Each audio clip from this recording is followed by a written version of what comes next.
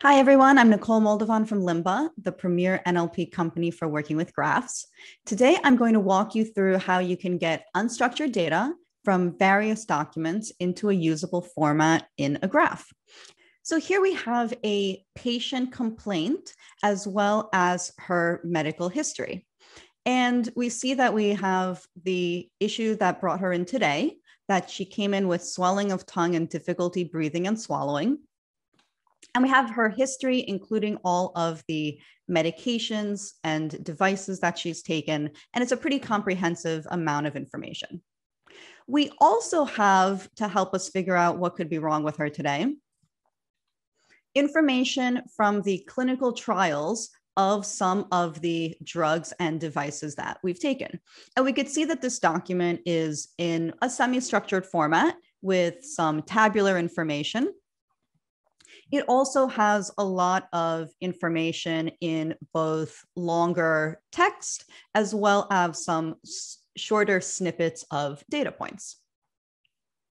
Now let's head over to K-Extractor Studio, our developer UI, and see what these documents look like once we've annotated them. Now, this is again our developer UI. So we're not going to be expecting a healthcare professional to do this uh, in this environment. This is where we are going to be working through our lexicons, edit lexical rules, and semantic rules, as well as the annotations. This is where we can tweak that NLP pipeline. And I'm not going to go into it in too much detail here, but this is exactly what we cover in the medical playbook if you want to try it out. So let me go back here to my documents. So here we have our annotated documents as they've gone through the NLP pipeline. And remember, we can keep editing until we're happy with the way these annotations reflect the entities and relations that are being extracted from the documents. So, from the history of present illness, we see that Jane is a 77 year old woman, and she's suffering from a number of pathological conditions, including coronary artery disease, type 2 diabetes, and hypertension. And this information, I can link it back through the alias in the ontology. I can also see all of the different relationships we have here. We have a patient, the patient is experiencing these pathological states. The patient is then prescribed certain drugs for these states. And these drugs have certain characteristics like a dosage. She's also been taking this drug, Altace, for eight years. And we see that there's more and more relationships that we could be building throughout. From another document, we also know that she has a stent in place for her coronary artery disease. And we can see certain specifics like the delivery system of the drugs. So here we have one that is an IV, or whether it is received through some sort of puff or pill.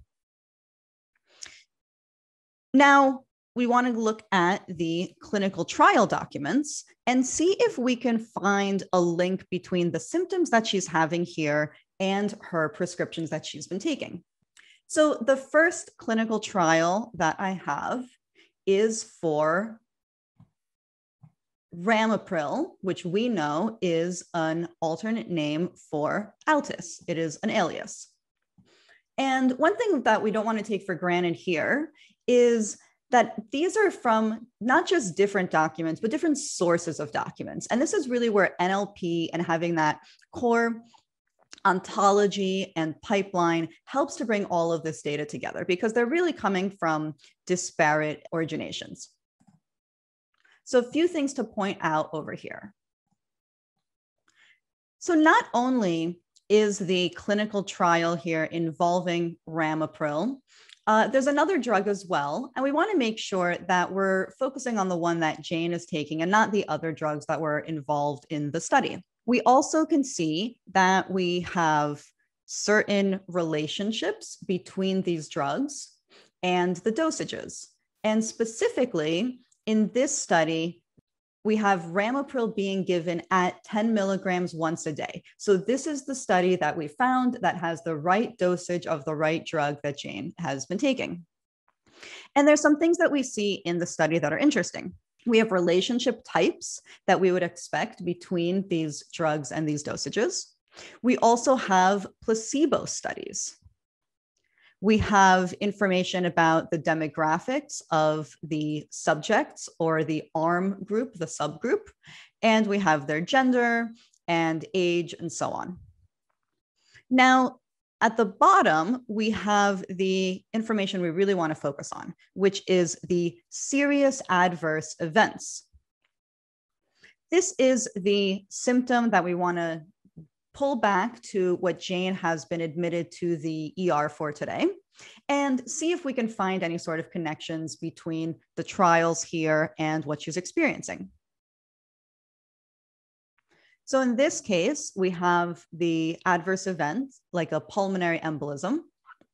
And again, we see that this is broken out by the relationships between these different concepts. So my pulmonary embolism event has the relationship of event reported on a certain drug.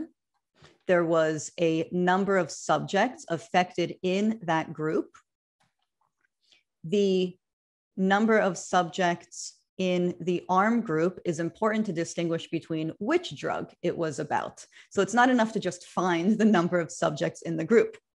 So for example, for ramipril, we had one subject in this arm group E2 that was affected with the serious adverse event pulmonary embolism. I want to jump over now to another document for the other clinical trial and show you how even another clinical trial can look very different even when it's about drugs. So in this one, I have a clinical trial that is also involving ramipril.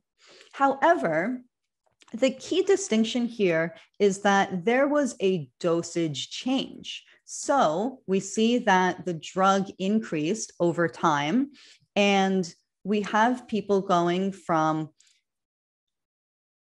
negative five milligram tablets to 10 milligrams.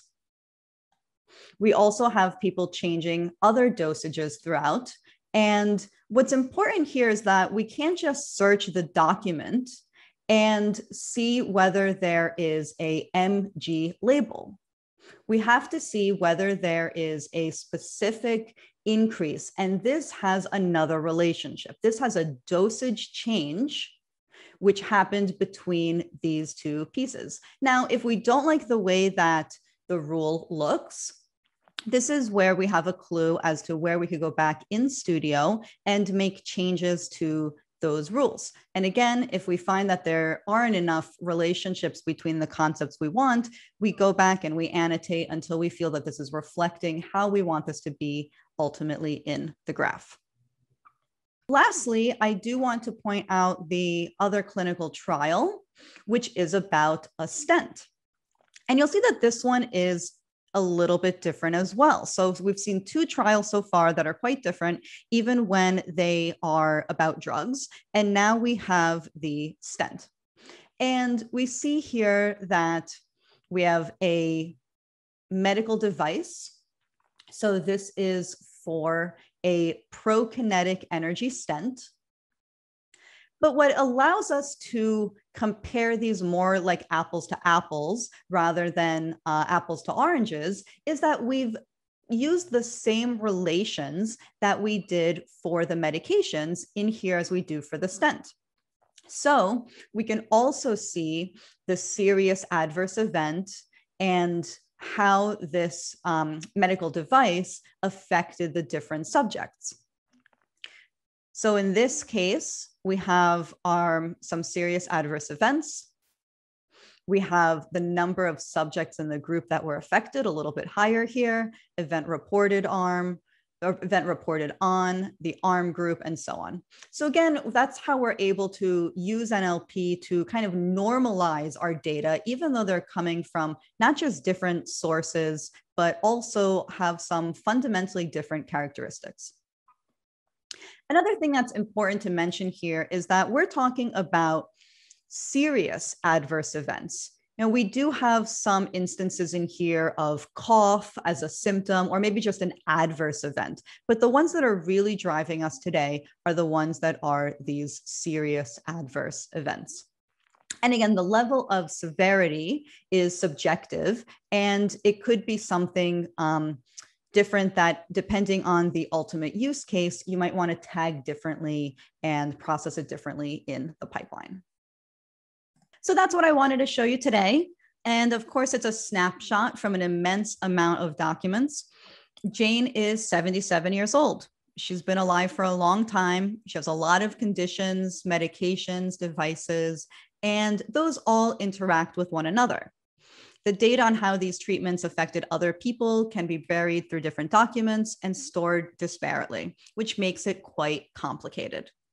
But by using NLP with your graph, and letting the pipeline do a lot of that work for you, you can hopefully make it less complicated and get more out of your data. Thanks for watching from Lymba. Please reach out to us with any questions or for help on your next project. To receive a free consultation, email us at info at lymba.com, where we can customize a demo to suit your needs about your specific situation.